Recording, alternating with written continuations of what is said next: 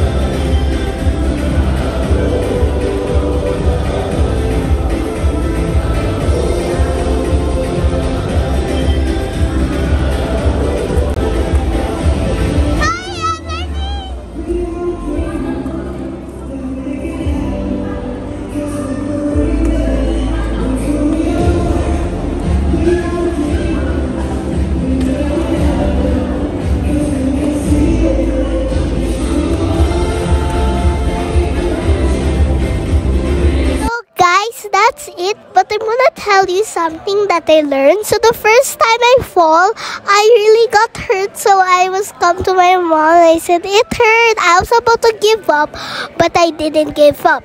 So the moral lesson is you shouldn't give up. So see you soon, guys. Bye.